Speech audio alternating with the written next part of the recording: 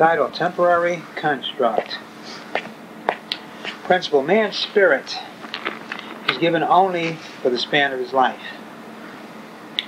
Turn Ecclesiastes, the 12th chapter,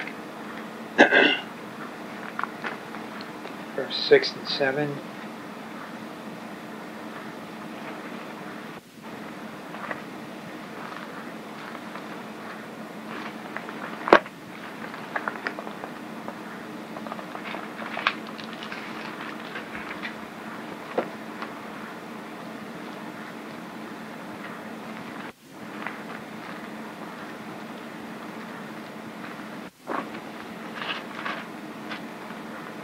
After Proverbs.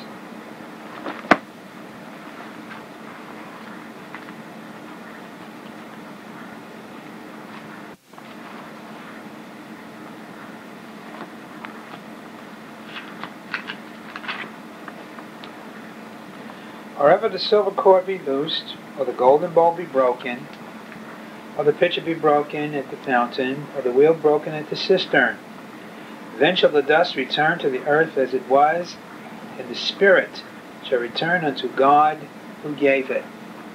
The spirit is one is the one temporary part of man's triune makeup. Everybody, saved or unsaved, in eternity will have a soul and a body. The unsaved will not have a spirit, and the saved will have the Holy Spirit. So the spirit is only given for a temporary period of time.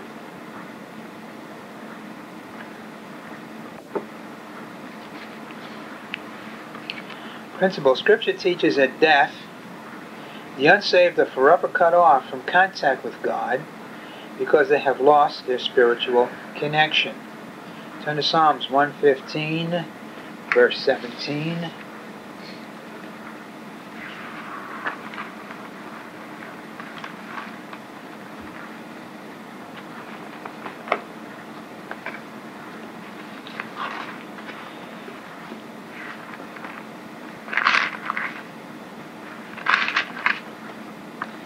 The dead praise not the Lord, neither any that go down into silence. What he's saying here is those that are dead don't praise the Lord, they don't have the ability. And those that are recently been uh, killed or murdered whatever, that are on their way down, don't praise the Lord, they lose their ability because the Spirit is no longer there. 88, verse 4 to 5.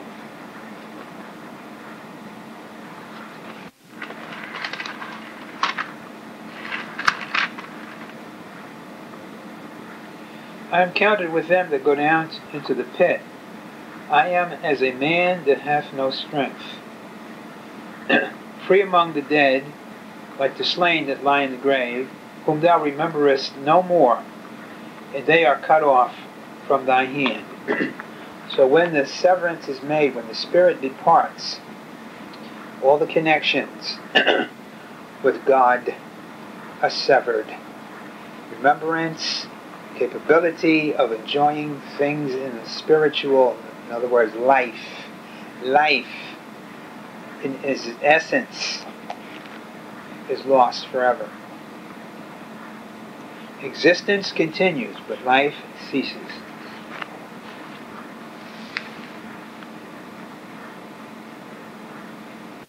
Scripture teaches before the fall, man's spirit was in contact with man's consciousness and allowed him to be in harmony with the consciousness of YHVH.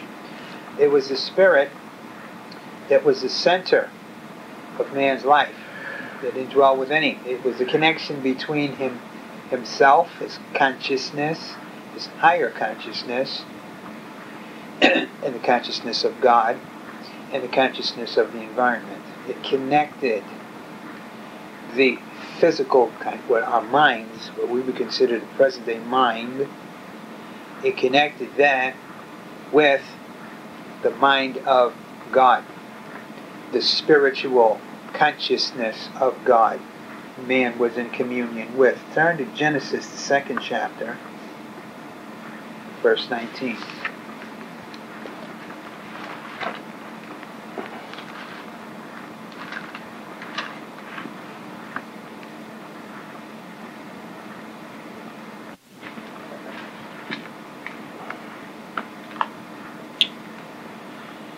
Out of the ground the Lord God formed every beast of the field and every fowl of the air, and brought them unto Adam to see what he would call them.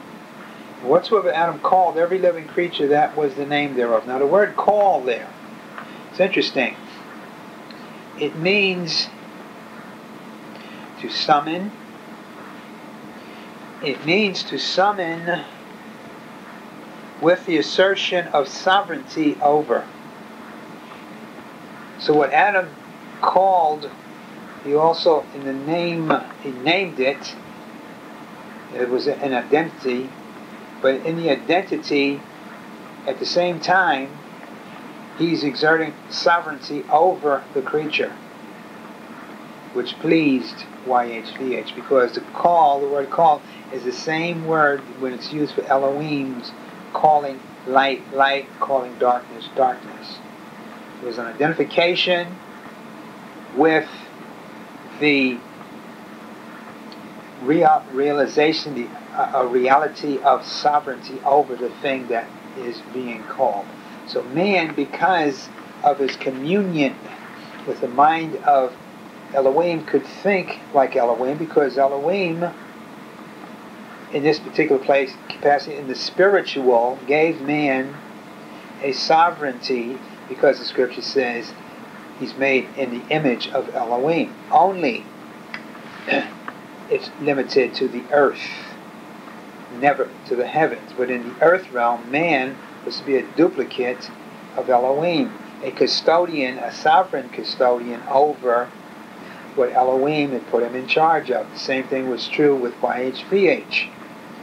Man was in communion with the mind of YHVH and who understood how to remain in harmony with the, the flow of the direction of what he was given to do. That's why he could be put over a vast region, one man, and uh, would be able to t- take total control over this vast region. Eden, Eden was a region which had four rivers flowing through it. I mean, it had to be vast because only something the size of a state or a national park can support a river flowing through it. This thing had four rivers. so Adam was created to be a sovereign over the physical. His problem, of course, was that he wanted to go beyond that. He wanted to be like the gods who are sovereigns over the spiritual. Brings us to the next principle. Scripture teaches the fall, man lost contact with the spirit, which was still in contact with God. In other words, it was severed. Turn to Genesis, the third chapter, verse 7.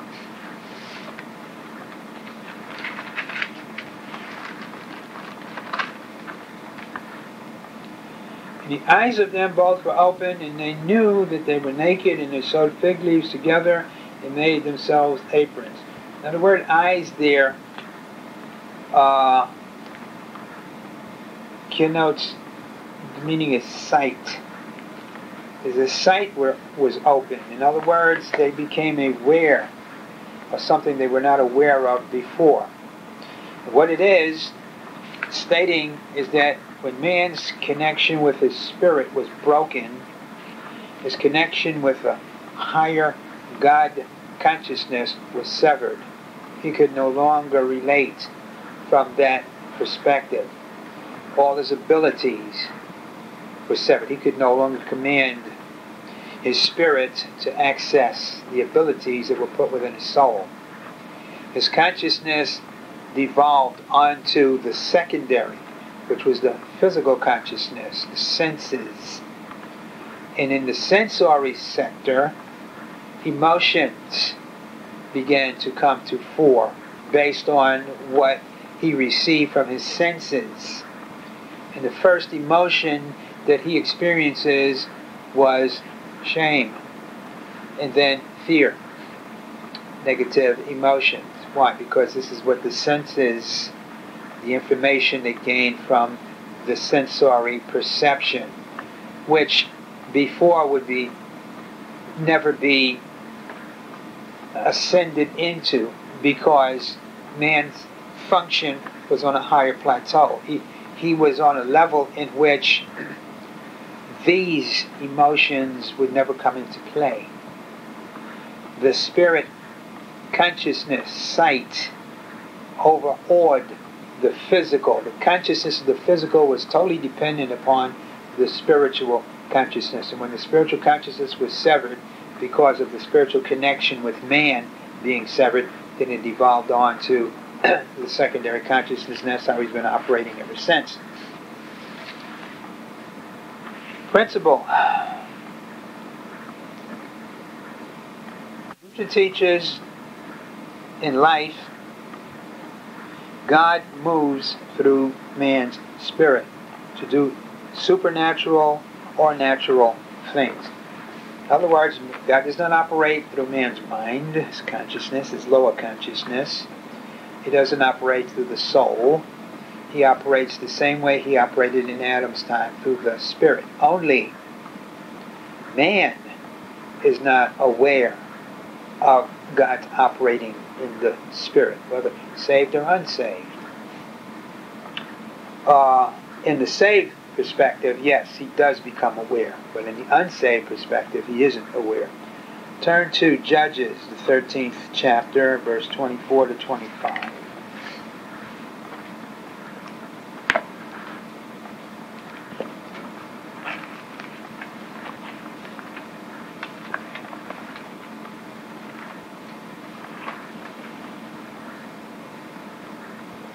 Woman bare a son, called his name Samson. The child grew, and the Lord blessed him. And the Spirit of the Lord began to move him at times in the camp of Dan between Zorah and Eshtaol. So Samson's strength came when the spirits would come upon his spirit and enable him to do supernatural feats of strength but it was all through the Spirit. Didn't move on his mind, didn't move in his soul, moved in his spirit. Turn to Romans, the eighth chapter, verse 16.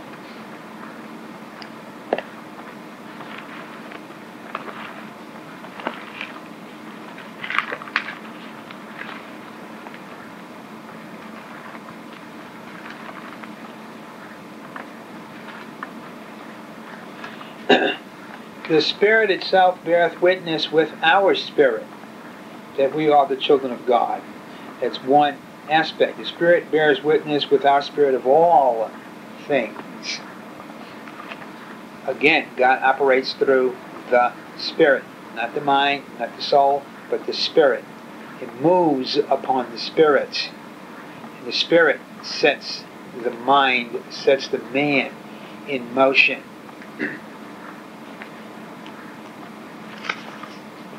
1 Corinthians 6, verse 20.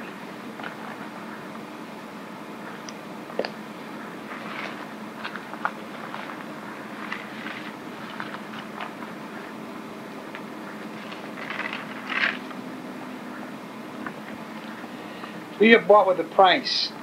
Therefore, glorify God in your body and in your spirit, which are God's. so it's telling us here that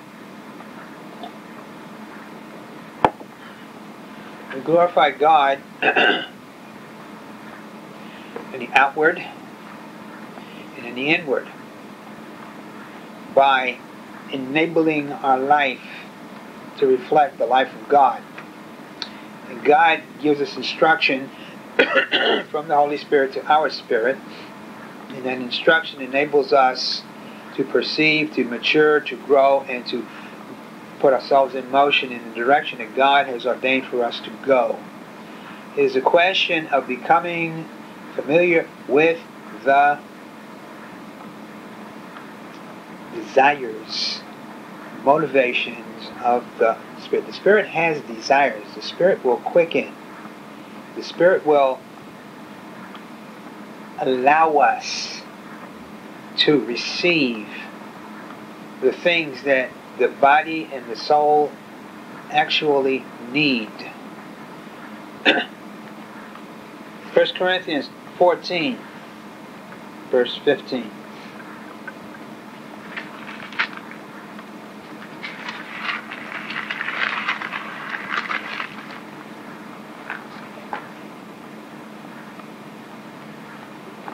What is it then? I will pray with the Spirit. I will pray with the understanding also. I will sing with the Spirit. I will sing with the understanding. it's talking about our spirit and our mind. It's talking about the ability of the Spirit to manifest in us the things of God. And when it manifests those things in us, we enable it to manifest it on the outside. Praying with the Spirit is talking about the prayer language. The prayer language is a language in which we can operate at will. It's not referring to the prayer language that the Holy Spirit gives us to interpret tongues or to speak in tongues. It's talking about the language of the Spirit communing with God. In 1 Corinthians, about the 13th chapter or the 14th chapter, it says, He who speaks in an unknown tongue speaks not unto men, but he speaks unto God. That's the language of the Spirit. So we pray in the Spirit, we can sing in the Spirit. Praying in the Spirit, singing in the Spirit basically deals with unity of the Holy Spirit incorporating into worship. Praying with the Spirit means that we pray with our own spiritual ability. Praying with the understanding. When the understanding is open to the Spirit, then we can connect and vocalize because we understand what the will of God is and we can pray in the will of God. Revelation, the sixth chapter, verse 18.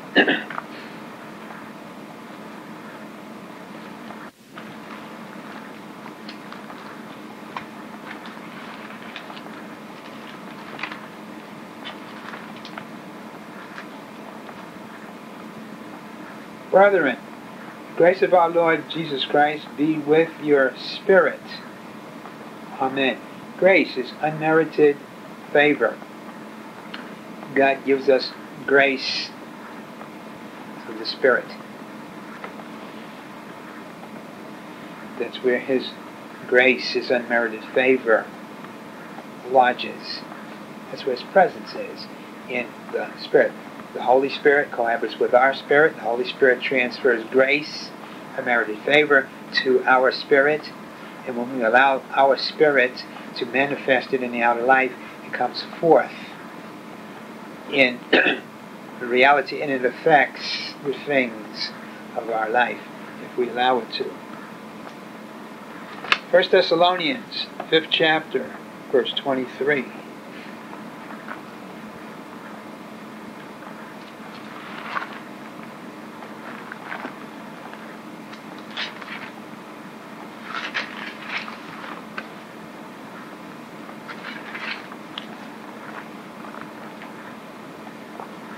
And the very God of peace sanctify you wholly. And I pray, God, your whole spirit and soul and body be preserved. Notice the, the order in which he speaks spirit, soul, and body be preserved blameless unto the coming of our Lord Jesus Christ. So, what's being said here? Scripture says the spirit of the prophet is subject to the prophet.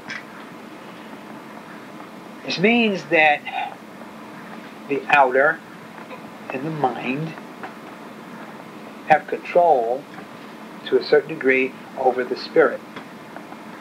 In the outer life, where you go, you take your spirit.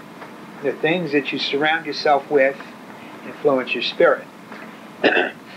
what you do in your life, your conversation, what you see, feel, hear with the senses, all affect the spirit. When the outer is so concerned with the affairs of the outer, it overrides the desires of the inner. If we understand the desires of our spirit, and we choose to accede to the desires of the spirit, you will find yourself always walking in light. You'll find yourself wanting to be in light because that's the desire of the spirit, not of the mind or the body or the soul. So that means when we go to a place or do a thing that's contrary to the will of the Spirit, we're denying our spirit growth. We're denying our spirit freedom. We're denying our spirit the ability to move in the direction in which God would have us to move because the life is dominated by the senses, not by the spirit. When we reach that point where we tap into the desires of the spirit and it reaches a stage of knowledge, in other words, the spirit conveys its desire, which becomes, if we allow it to become so strong, that we are impelled to seek out satisfying the spirit rather than the outer that will take us into places in which the spirit will feel comfortable. Now we read when we read Second Corinthians, the fifth chapter, what we read is that the spirit itself, it, for the most part, is miserable because it's in housed in a, an alien environment for which it was not created. Our job is to make our spirit as comfortable as possible because it is our spirit that's going to take us to the throne of God. Not our body, not our mind, not our soul, but our spirit. The spirit, we said, was a temporary loan to us. When we allow ourselves to be led by the Holy Spirit in our spirit, ultimately at the time of transition, when the Spirit departs, the Holy Spirit takes over fully. And we enter into the fullness of the spiritual capacity. Having lived a life in which we have yielded to the desires of the Spirit. Those Christians who live apart from satisfying, gratifying the desires of the Spirit will never reach full maturity. And when they pass this life, their spirit departs, the Holy Spirit takes over at the juncture of whatever state of maturity the person is in. They still have their carnal desires which mitigate against the Spirit. Therefore, they limit the ability to function in the spiritual realm and they'll be on a lower scale. Saying this to say this sacrifice to take your spirit where it will go. When you do, you're investing in your own eternity. The stuff of this world, all of it is going to pass away. It's there to distract, it's there to hinder, it's there to do whatever it can do to stand in opposition to our progress. Open yourself up to the desires of your own spirits. And when you do, your circumstances will begin to change. If the mind is dominant, emotions are dominant, the circumstances aren't going to change and remain the same. Because the life is not being given over to the spirit to grow, to affect the change. Change can't come into being because we are not allowing it. It's only in the Spirit. Scripture says, where the Spirit is, there is liberty, freedom. Now the Spirit desires to come forth and to ultimately dominate and watch circumstances alter.